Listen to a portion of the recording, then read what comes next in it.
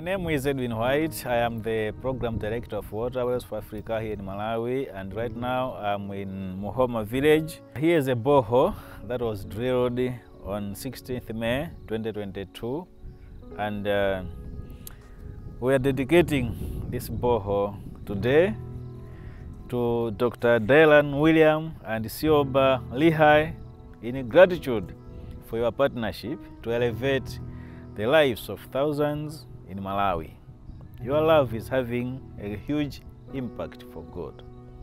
Before this borehole, they used to drink water from an open well which is down in the swamps and uh, during the dry season this well used to dry up and they had to dig deeper and they had to wait for their turn. Since the coming of this borehole, which is almost two months now, they are able to get enough water for the family. I was asking uh, Mary Amin right here, who has told us that uh, during the dry season, she was unable to get enough water for the whole family. This well is serving more than 65 families who are getting water from just an open well, contaminated water. They were getting sick from waterborne diseases, but now that's history.